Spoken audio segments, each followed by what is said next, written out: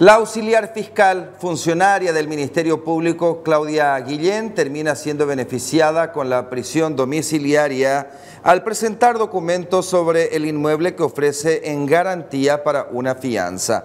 La joven permanecía recluida en el Departamento de Seguridad Turística de la Policía Nacional. Según el abogado Gesapoca, la Dirección de Registros Públicos proveyó a la defensa de las informaciones que requirieron para que la oferta realizada al juzgado de Raúl Florentín sea aceptada y revoque la medida impuesta. Respecto a los documentos del vehículo que abordaba Guillén cuando fue detenida, el abogado dijo que todavía siguen en la espera. Que el juzgado decidió fue otorgarle un arresto domiciliario.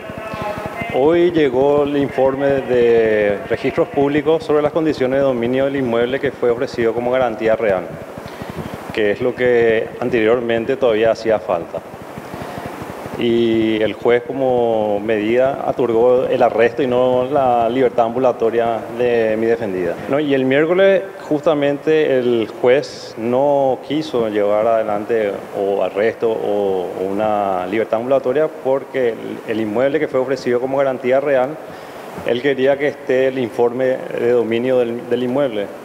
Eso es algo que se solicita, se solicitó el día martes, pero no está en el día. Eso tarda normalmente 5 a 6 días.